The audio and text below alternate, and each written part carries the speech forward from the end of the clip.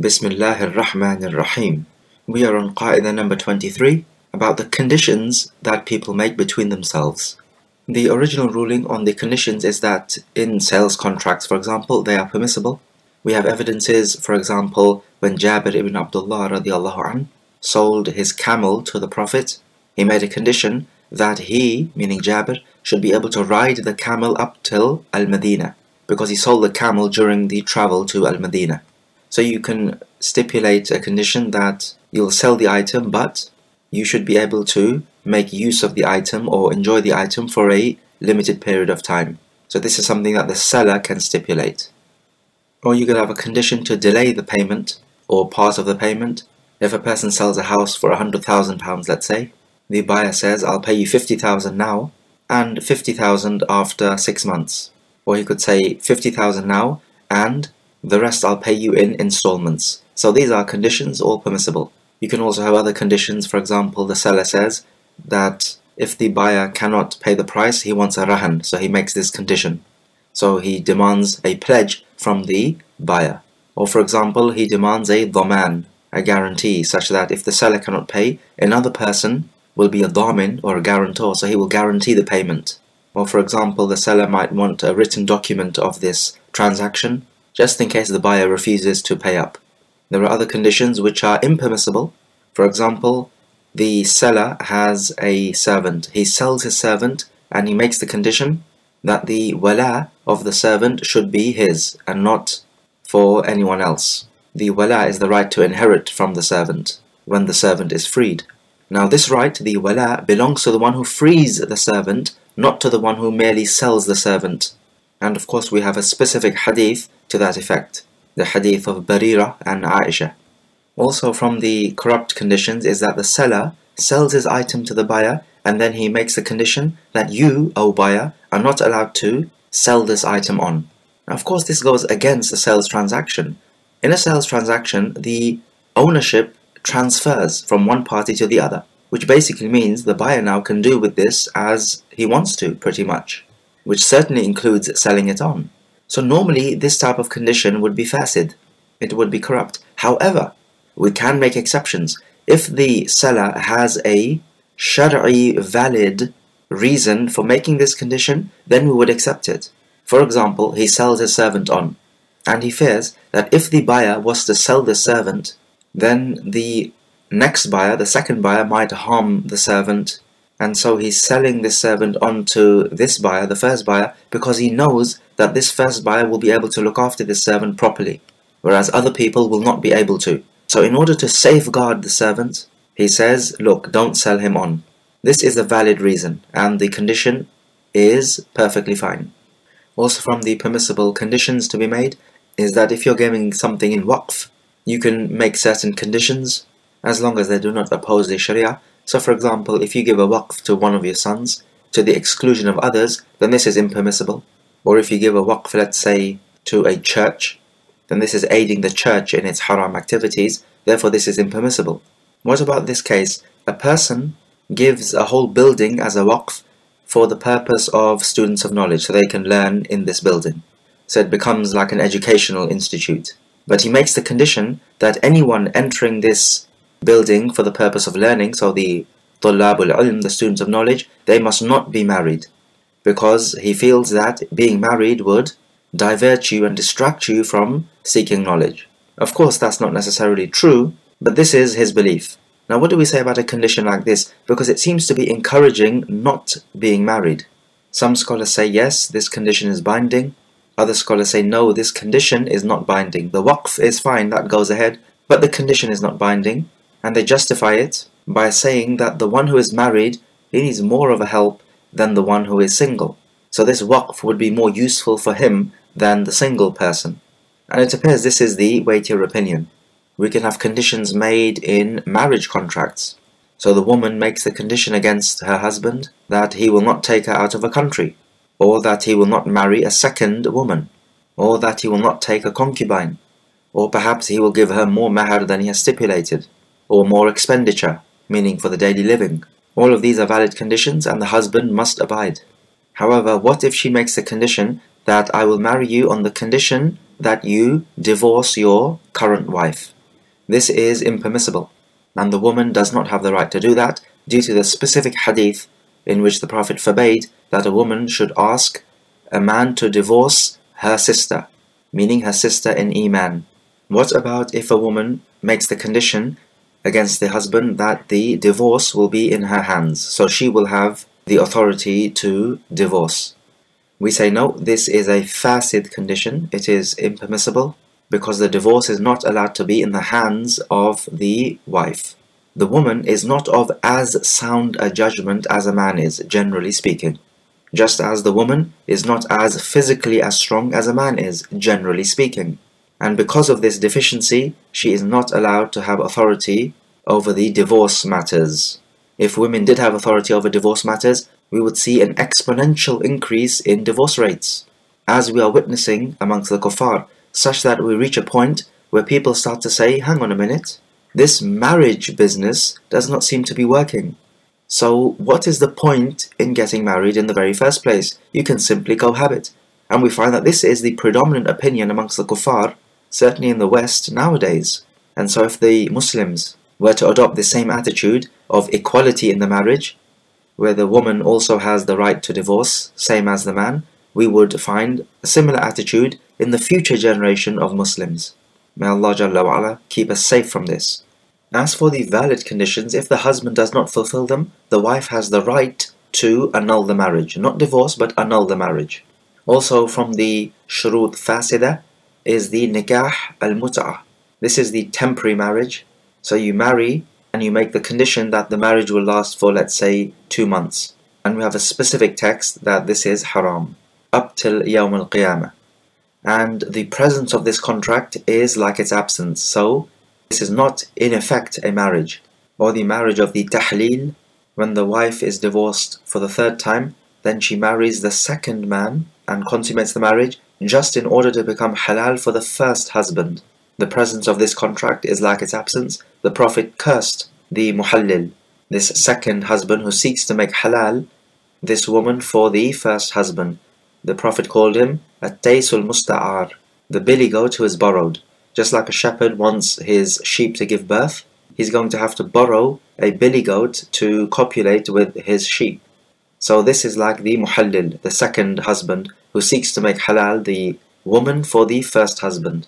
However, if the family of the woman, the wali, let's say, stipulates against the second husband, the muhallil, that you will divorce her after a period of time when you have consummated marriage, so that she can become halal for her first husband again, and outwardly he agrees, but inwardly he intends that he's not going to divorce her. And it so happens that he does not divorce her. What do we say about a marriage like this? Is it permissible? Will it go ahead? Well, here we would judge it with what is apparent, and what is apparent is that this is the marriage of tahleel, and so we say that its presence is like its absence, and we separate between this woman and the second husband. We now move on to قاعدة number 24 من سبق إلى المباحات فهو أحق بها من غيره Whoever comes to something or an item which does not have an owner, then he has most right to it than anyone else. So this qaida is pertaining to things like a piece of land which does not have an owner. Now a person comes to this piece of land and gives it life. For example, he builds in it some wells, or he makes water run on this land, or he sows the seeds and makes it produce vegetation.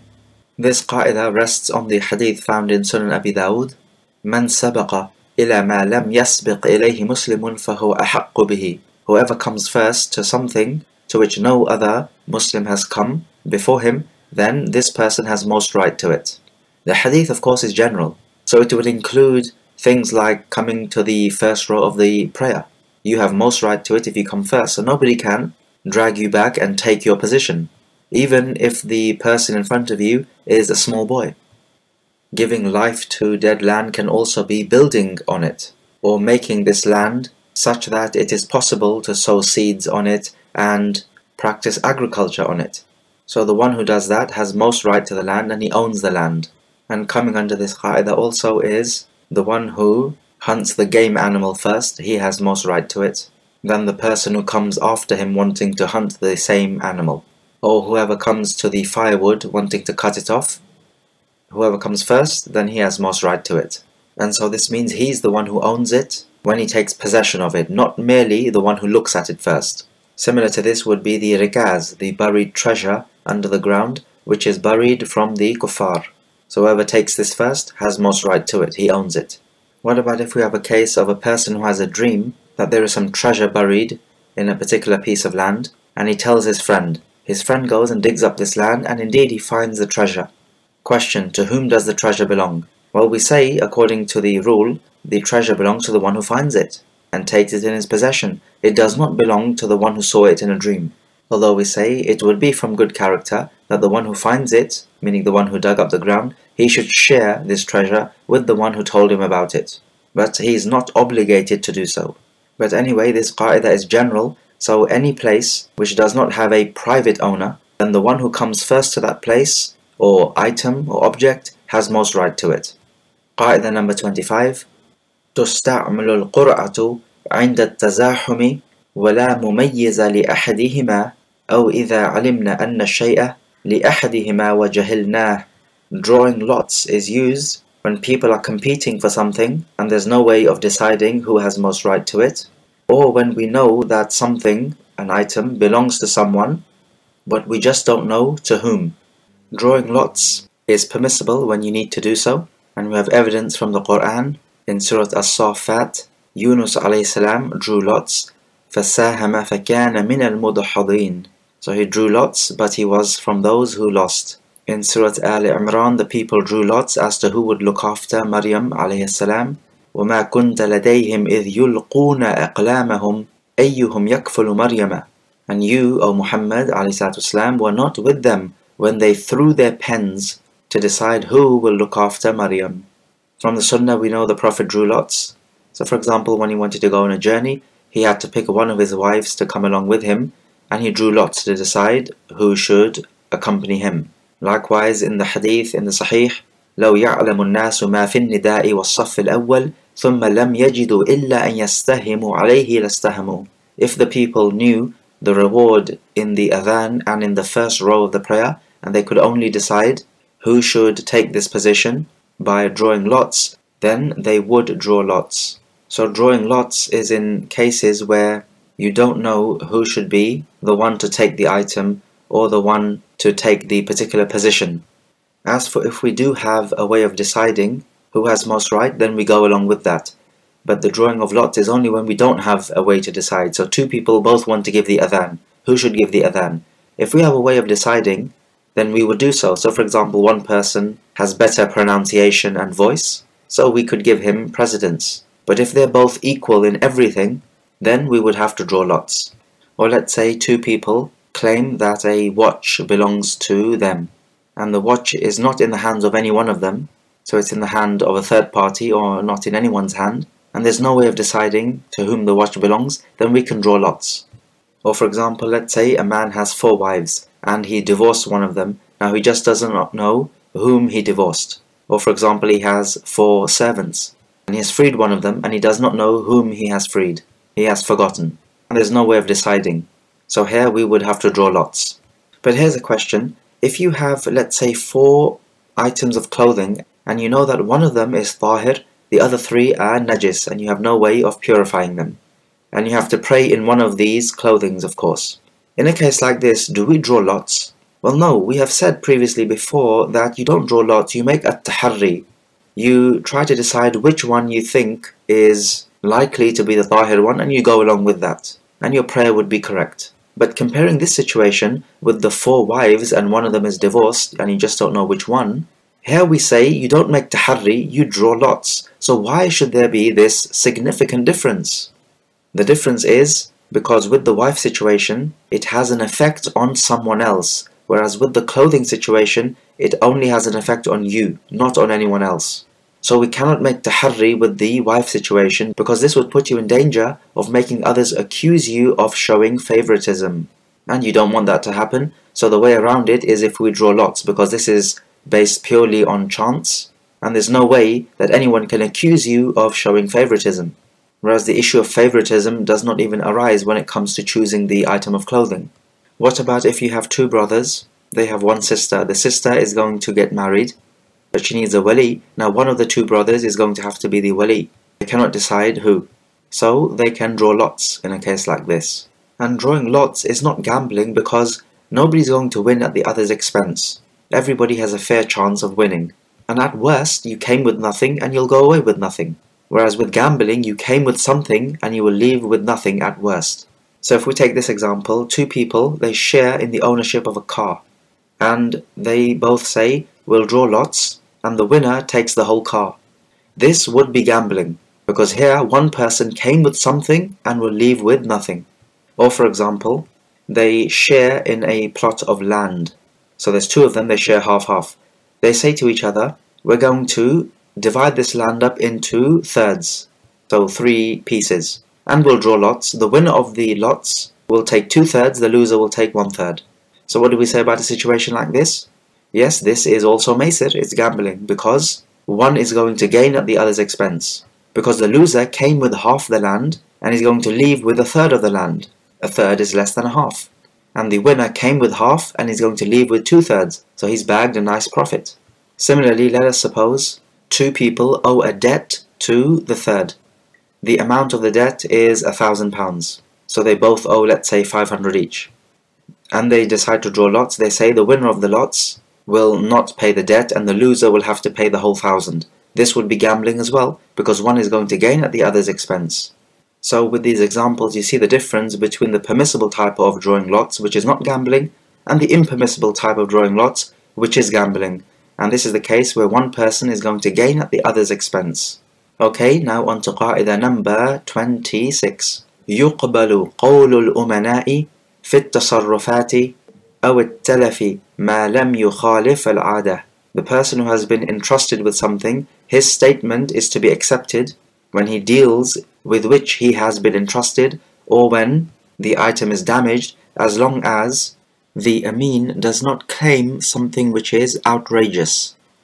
Let us say, for example, you commission another person to sell some clothes for you, and he does so.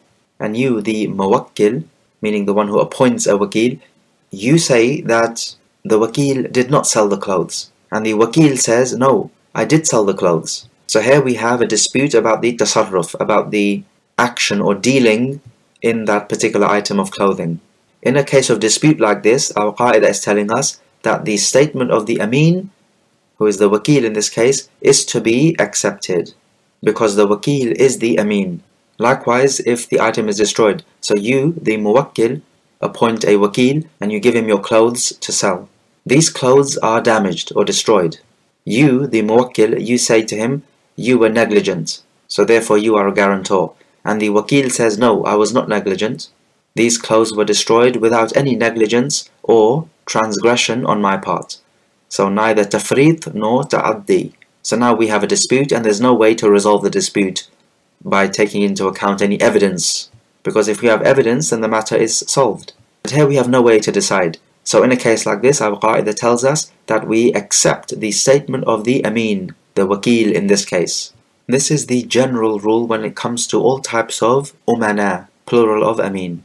But what about if an Amin takes an item and he's going to benefit from it? So for example, he borrows a pen because he wants to write with it, and that's of course benefiting from the pen. Then when he's used the pen, he's going to return it to the owner. Now this person who borrows the pen is an Amin because his pen has come into his possession through the permission of the owner. That's the whole definition of an Amin. Now if this Amin claims that he returned the pen, do we accept his statement? The answer here is no, we do not. We won't accept his statement unless we have evidence. So if there's a dispute, the owner says, no, you did not return the pen. The Amin says, yes, I did return the pen. So in a case like this, we would not accept the statement of the Amin. Why? Because the Amin took the pen for his own benefit. Or at least there was a share of benefit in this for the Amin. Or for example, a man takes a pen to, let's say, borrow, but he's going to pay the owner of the pen. So it's like a leasing contract. Now here, both parties are benefiting. The owner and the one who's using the pen, they're both benefiting. But because there is a share of benefit in this for the Amin, and he says that I return the pen, we do not accept his statement unless he has evidence. As opposed to this example, the owner of the pen deposits his pen with his friend, who would be the Amin now, and the friend is not allowed to use this pen, he simply puts it in his safe, just for safekeeping, until a time when the owner can come back and take his pen back. Now, the Amin is not making use of this pen, and he's not benefiting. So now if he claims that he returned the pen, and the owner says no, he did not return the pen, then now we do accept the statement of the Amin. Why the difference? The difference revolves around did the Amin make use or benefit of the pen? In our case, we find no, there's no benefit for the Amin, therefore we accept his statement. The reason why we accept normally the statement of the Amin is because they did not usurp this wealth. This wealth came into their possession through the permission of the owner. So it's like the owner has made the Amin on the same status as himself. If that is the case, then it requires that the statement of the Amin be accepted just like you would accept your own statement. However, if the Amin claims something which we know to be untrue, then we would not accept his statement. So, for example, if the Amin says that the wealth which was given to him was destroyed in a large flood, but we know of a surety that the city was not flooded that particular day or night. Therefore, in a case like this, he's clearly saying something which is false, and we would not accept his statement. Or, for example, if he says that a large fire broke out and it destroyed the wealth, and we know of a surety that no fire broke out that day or in that city, then again we would not accept his statement in a case like that. On to qaida number 27. من ترك المأمور لم يبرأ إلا بفعله ومن فعل المحظور وهو معذور بجهل أو نسيان فهو معذور لا يلزمه شيء Whoever leaves off doing something which is wajib, then he must complete it, and he is not free from the obligation. But whoever does something which is haram to do, and he does it because of ignorance or forgetfulness, then he is excused and he does not need to do anything. So this qaida now speaks about the difference between not doing something which is wajib and doing something which is haram.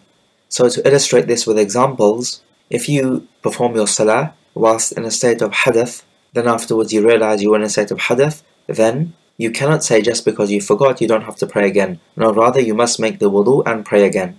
Or for example, if you're praying and you left out a rukun or a shart of the salah without a valid excuse, so for example, maybe you forgot or you were ignorant of it, then when you find out, you must complete the salah whilst performing the rukun or the shart of the salah. So in a case like this, you would have to repeat the prayer. In contrast to this situation, if you have some najasa on you and you forgot about it and you prayed with this najasa on you, do you have to repeat the prayer? The answer here is no, you do not, because praying with najasa on is doing something which is haram, and because you forgot, then you are excused and there is nothing upon you to do. In fact, we have a specific hadith to prove this, where the Prophet ﷺ prayed with his shoes on and there was some najasa on his shoes, and during the prayer he removed the shoes. And the Sahaba removed the shoes after him as well. Then they asked the Prophet why he removed the shoes, and he said that Jibril came and told him that there was some najasa on his shoes, so he removed them. But the point is that the Prophet did not repeat that part of the prayer which he prayed with these shoes on. Or let us suppose somebody eats camel meat, and this of course breaks the wudu, and he did not know that this was camel meat he had eaten. Then he prays, and afterwards he realized it was camel meat. So therefore he realizes that his wudu would have been broken. What do we say in a case like this? We say that he has to repeat the prayer because he left off doing something which was wajib, which is to make the wudu. True, he's not sinful, but he still has to make up for the action. Similarly, with the man who prayed badly without any tum'anina, and the Prophet repeatedly told him to pray again until he said that I cannot do any better than this, so please teach me. And the Prophet taught him how to pray with tum'anina, with tranquility. This is because the man left off a wajib or a rukun action in this case, which is the Tum'anina. So even though he was unaware, still the Prophet told him to pray again. And he told him to do this because it was still time, meaning the time of the prayer was still in effect. Notice he did not tell the man to repeat the other prayers which he prayed badly in the same way. So all the other prayers from yesterday and the day before and the day before and so on. And this is because the timing of that prayer had finished. And also because if he was to make up all those prayers, it would become too difficult. So when the matter or issue becomes too difficult, then you don't have to make up for it. Or for example, if a person makes ijtihad, for example, Ammar ibn Yasir, he was in a state of janaba on a journey, and he could not find water to take a bath, so he rolled around in dust. This was his ijtihad. So instead of bathing himself in water, he bathed himself in dust, because tayammum is the alternative to the water purification. Of course, this was the wrong thing to do, and the Prophet told him the correct way of performing tayammum even when you're in a state of janaba. But the Prophet did not tell Ammar ibn Yasir to repeat that prayer. Why? Because he made ijtihad. And so he did the best he could do. Of course, his ijtihad was wrong. But because now the time of the prayer had finished, he would have been rewarded for his ijtihad even though he got the answer wrong. And the Prophet did not tell him to make up for the salah. So if you made your ijtihad and you got the answer wrong, then after the time of the ibadah finishes, then you realize that you got it wrong, then you don't have to make up for the ibadah. Just like in the case of Ammar ibn Yasir. Or secondly, if in making up for the ibadah it would become far too difficult, then again you are excused. Other than that, you are not excused. We can take the example from the Siyam. So for example, a person fasts, but before that he did not make his intention that he's going to fast meaning before the Fajr time. So his fast is invalid because for a Fard fast, you cannot make the intention during the middle of the day. So he has to repeat that day. However, if he does something haram unintentionally, for example, eats and drinks during the fast, unintentionally, out of forgetfulness maybe, then his fast is correct and he just continues on fasting because here he did something haram but with a valid excuse because he forgot. Similarly with the Hajj, if somebody leaves off a wajib action in the Hajj out of ignorance or forgetfulness, let's say for example he leaves off spending the night at Muzdalifah. Now, most scholars say this is wajib. Some even say it is a rukn. But if we go with the opinion that it's wajib, then we say that, okay, you are not sinful because you were ignorant, fair enough. But you still have to offer the animal sacrifice to be fed to the poor people of Mecca because this is the badal or the alternative. And we don't say you don't have to do anything. In contrast, however, we know that you're not allowed to cover your head with some item of clothing which will stick onto your head, like a cap. If in the state of ihram, a muhrim does this out of forgetfulness, what do we tell him? We tell him, you don't need to do anything because you did this forgetfully. And now on to qaida number 28. يقوم البدل مقام المبدل إذا تعذر المبدل منه. The second option takes the place of the first option if the first option is not possible to be performed. Here we are talking about the badal or the alternative, So for example, the badal or the alternative to wudu is tayammum. Allah Jalla wa ala says, فَلَمْ تَجِدُوا مَاءً فَتَيَمَّمُوا صَعِيدًا طَيِّبًا And you do not find water, so make tayammum with the good or pure surface of the earth. So in a case when you cannot undertake the first option, which is the wudu, then you have to undertake the second option, which is the tayammum. And this is what the qaida is telling us. So what is important to understand here is that the second option takes the same ruling as the first option. So it is not a condition that you make wudu after the entry of the timing of the prayer. You can make wudu for dhuhr before the time of dhuhr, of course. Likewise, you can make tayammum before the time of tayammum. And it's not like how some people may say that you can only do it after the time of the prayer entering. And also, you do not need to make tayammum for every prayer, just like you do not need to make wudu for every prayer, as long as you have kept your first wudu. The same thing applies to tayammum as well. If he wants to touch the mushaf or the Quran and he makes tayammum for it because he cannot make wudu, then this is fine. And he's also allowed to pray in this tayammum as well. Just like if you were to make wudu to touch the Quran, then you can also pray in that wudu.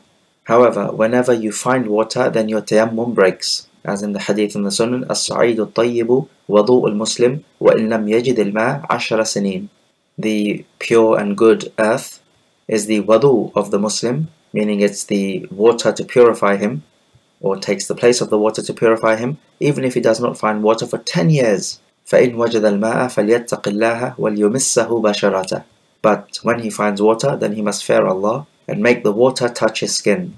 Also coming under this qaida is if you purchase an animal for the udhiyah or the hadi in the hajj or you give something as a waqf but then you exchange it for something else then this is permissible and it takes the ruling of the first option that you had.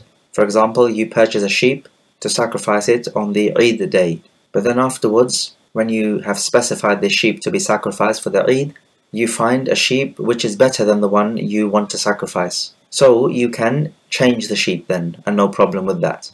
And with the first sheep, you are now able to sell it. Whereas ordinarily, when you've specified that sheep to be the sheep for the udhiyah, you are not allowed to sell it because it is now dedicated to the cause of Allah Jalla wa'ala, and you're not allowed to take that back. And we can give the same ruling for the hadi in the hajj and the waqf as well, that you can exchange it for something which is similar or better, and it will take the same ruling. Whereas ordinarily, you're not allowed to take back what you've given in the cause of Allah Azza wa Jal. Okay, now on to qaida number 29.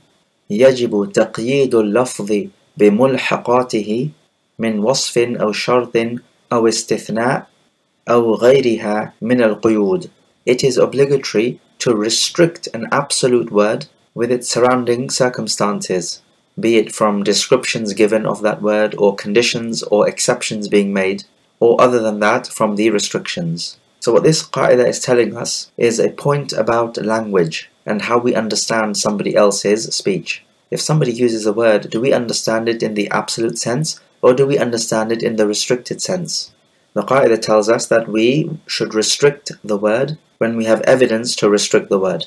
So if somebody says something, let's say a sentence, but then he gives some restrictions or conditions or particular descriptions, then we would use these descriptions to restrict the word. So for example, if he was to say, distribute these books to the hard-working students of knowledge, then we would only distribute these books to the students of knowledge who are hard-working and not just to any student of knowledge restrictions to rulings can be made due to the sabab or due to the cause. For example, if a man sees his wife speaking to another man and he becomes jealous and he says to his wife, You are divorced. The reason why he divorced his wife or the sabab is because he thought that she is speaking to a non mahram man and hence this woman is not fitting to be a wife. Then afterwards, it becomes known that she was in fact speaking to a mahram man and not to a non mahram man. Does this divorce count? This is the question. The answer is no, it does not count. Why? Because we need to restrict his language due to his intention and the sabab or the cause of him giving the divorce. The cause of him giving the divorce is you are divorced because you were speaking to a non-mahram man. Now it becomes known to us that this man was in fact a mahram to her.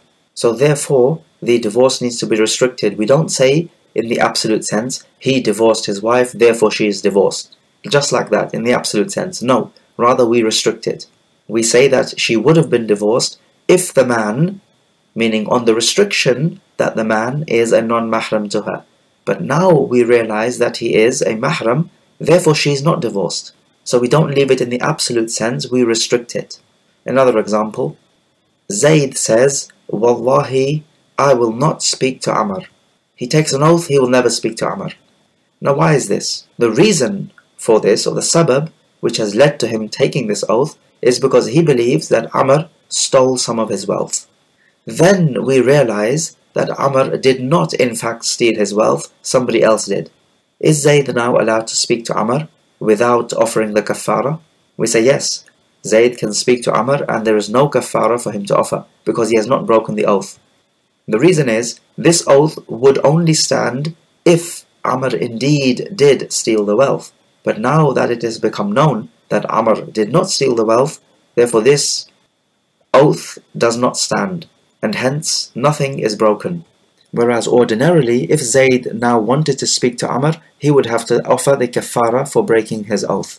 But in this case now, he does not need to offer any kafara, because we would restrict the language with the surrounding circumstances. And this is what the Qaida is teaching us here.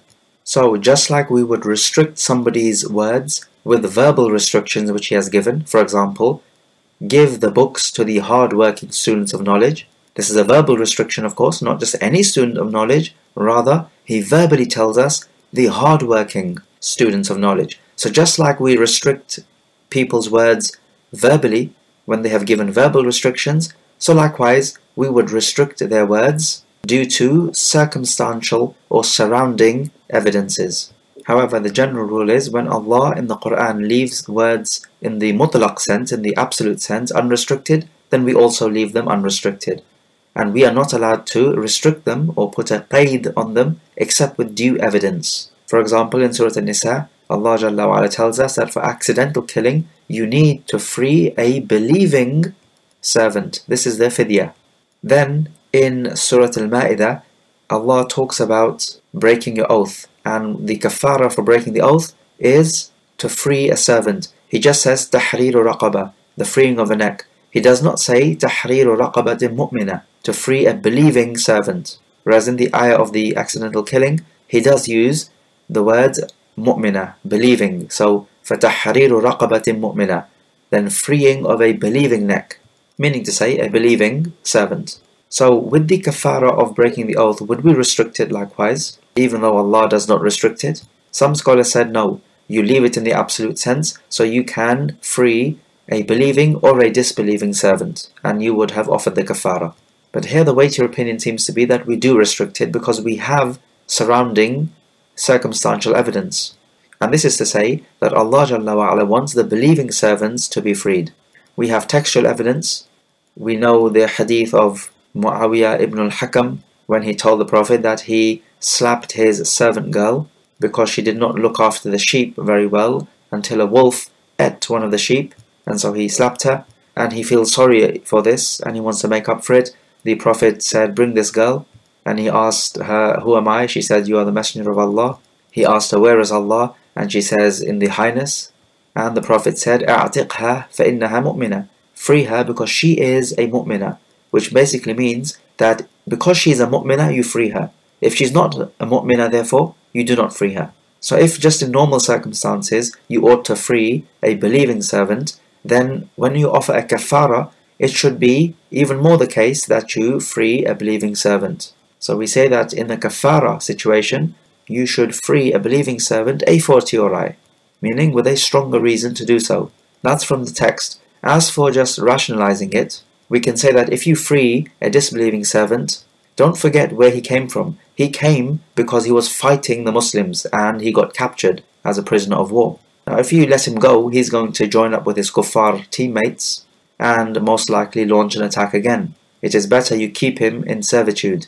On to قاعدة number 30 الشركاء في الأملاك يشتركون في زيادتها ونقصانها ويشتركون في التعمير اللازم وتسقط عليهم المصاريف بحسب ملكهم ومع الجهل بمقدار ما لكل منهم يتساوون People who share in some possession, they will share in its increase and its losses, and they will also share in rebuilding it to the minimum necessary amount, let's say a wall or a house for example.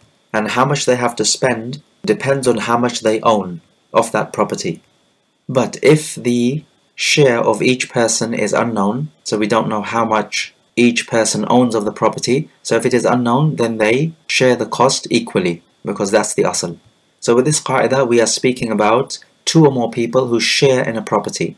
Let us suppose it is a house. This house needs to be fixed or renovated. It is obligatory upon all the partners of this house to contribute to the cost of renovating the house. How much they contribute depends on how much of the building they own. So if it's 50-50 between two people, then they share the cost equally. If it's two-thirds, one-third, then that's how much they would give in proportion, and so on. And this is pertaining to renovating the necessary amount. It is not pertaining to decorating and beautifying the house because this is not necessary. So if one person wants to decorate the house, he cannot obligate the other partners to share in the cost. Rather, he's going to have to undertake this operation by himself. The others could help him, but it is not obligatory to do so. The obligation is the necessary renovation. And also, if they own some animals or servants, of course, this will incur expenditure, so all of them must contribute to this in accordance with how much they own. Let us take a few review questions. Question number one Give a corrupt condition a wife might impose on a husband in a marriage contract.